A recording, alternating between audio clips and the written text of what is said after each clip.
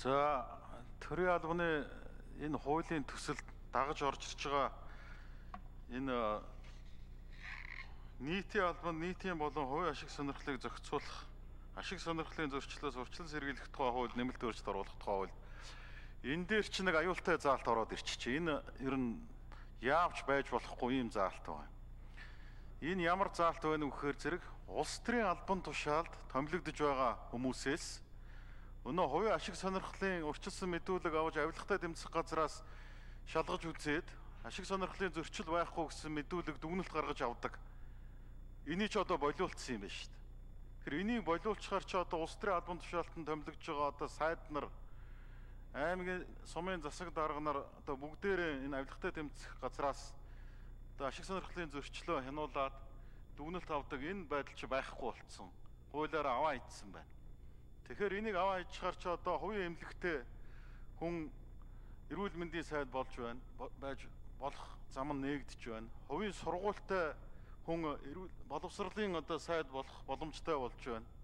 Хувийн том одоо барилгын компанитай хүн барилгын сайд одоо хийх юм болцоо нээгдээд жинхэнэ нөгөө ашиг сонирхлын зөрчил чинь энэ дээр одоо бий болж нөгөө хээл хахуул нөгөө ёс зүйн зөрчил одоо олон асуудлууд чинь үүнийг дагаж бий болно. Үүнээс үүдээд одоо энэ ашиг сонирхлын зөрчил бий болсноор одоо олон хүн хэрэгт орох, шоронд орох. Тэгээ ийм асуудлууд төрийн алба гажуудах ийм хувийн нөлөө орж ирэх ийм үүд хаалганууд бол одоо энүүгээр энэ хуулиар нээгээд өгчих юм байна. Тийм учраас одоо энэ заалтыг одоо оруулах хэрхэвч одоо болохгүй гэдэг нэг ийм одоо санааг та бүхэнд одоо хэлэх гэсэн юм аа. Энийг одоо яагаад ингэж оруулсан? Энийг оруулснараа ямар одоо үр дүн эерэг болоод сөрөг үр дүн гарах юм бэ гэдэг дээр та бүхэн нэг одоо хариулт хэлээд гэж.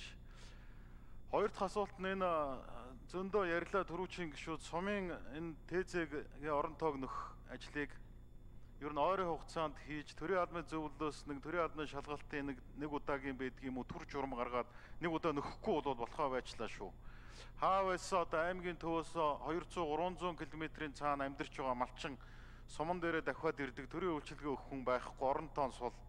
Тэгээ аймгийн төв рүү явах ийм нөхцөл чирэгдэл одоо зардал ийм юм бий болчиход байгаа шүү. Тийм учраас энийг одоо зохицуулах нэг одоо арга хэмжээг яаралтай ойрын үед авахгүй бол ялангуяа одоо энэ хүүхдийн хичээл сургууль эхлэхээс оюутнуудын хичээл эхлэхээс өмнө энийг одоо хийхгүй бол одоо болохгүй болсон байна.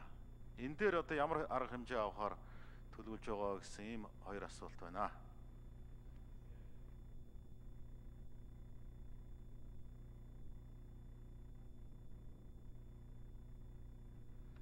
Тийм учраас Нямагийн их болдог шүү хариулна.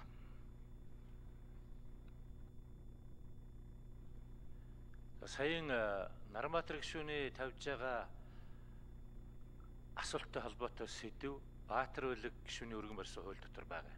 Орж ирсэн. Ямар утга учираар орж ирсэн бэ гэхээр ер нь авилгатай тэмцэх газраас албан тушаал томилогдож байгаа хүмүүс тодорхойлт гаргаж өгтөө тэр хүмүүс яг авилгатай тэмцэх чиглэлээр хийгдэг тавигдсан зорилгууд хууль заасан үндслүүдийг хангаж яана үгүй юу гэдгийг л тодорхойлох хэрэгтэй байна. А гэтэл Баатар үлэг гишүүн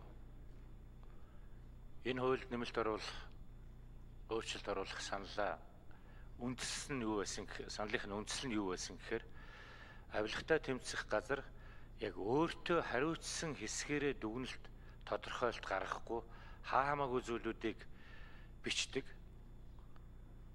Тэр нь өөрөө томилох гэж байгаа хүмүүсийн субъектив байр суурийг эсвэл дэмжсэн эсвэл бол зориуд хаасан ийм утга агуулгатай зүйлүүд их бичигдэх боллоо.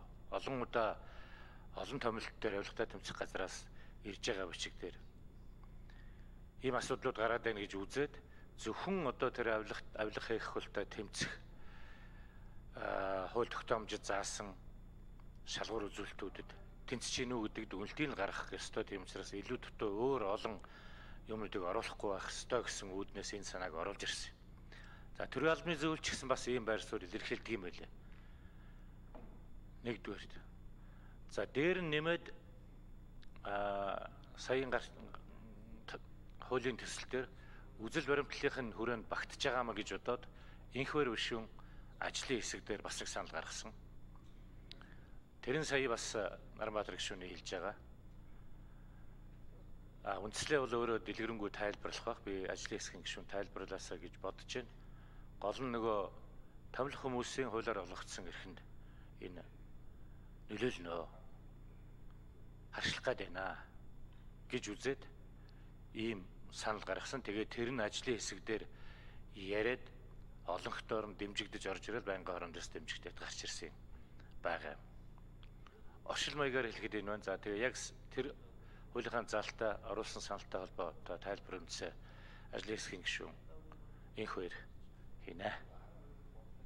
Өгөөд наа чи нөгөө хэлс хэсэг биш. Байнгын орооны санал дүгнэлтөд олгогдуулаа та хариулж байгаа юм чинь. Гэхдээ гэхдээ байнгын орооны санал дүгнэлтнэр яг орж ирсэн зүйл байхгүй юу? Тэгээ гаргасан нарийн ярил хууль санаачлагч нь манай инх хөргшин болж байгаа байхгүй юу? Тэгээ хууль санаачлагчаас бид нар чи асуугаад бүх юмаа асуугаад байнгын хорон дээр гарч ирсэн зарчмын зөрүүтэй санал. За. Тэгээ байнгын орооны санал дүгнэлтөд олгогдуулаад асуулсан. За.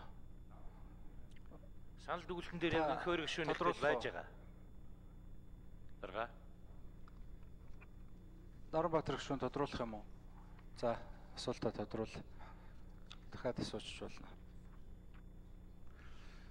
Тэгээ энэ төрийн албанд чинь ер нь одоо хамгийн их ёс зүйгүй, хууль зөрчилдөг, ашиг сонирхлын зөрчил гаргадаг улсууд чинь ер нь улс төрийн албан тушаалтнууд нь л болцоод байгаа шүү дээ. Ер нь тендерийг бодлуулдаг, хүн халдаг, авдаг, сольдог замбраа байхгүй. Энэ ажлыг чинь одоо улс төрийн албан тушаалтнууд томилогж ирчихээл хуулийн ямар ч одоо шалгуур байхгүй. Ингээ дур дураараа юм хийгээд идэг.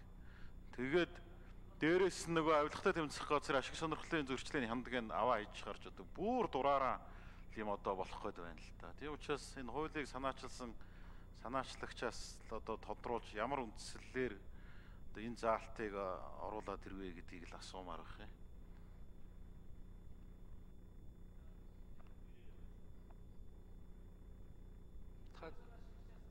За.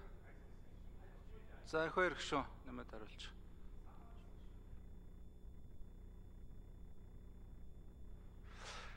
За авилгатай тэмцэх газар улс төрийн албан тушаалтнуудын урьдчилан мэдүүлгийг хянах байдал нь байдлаа буруугаар ашигласан.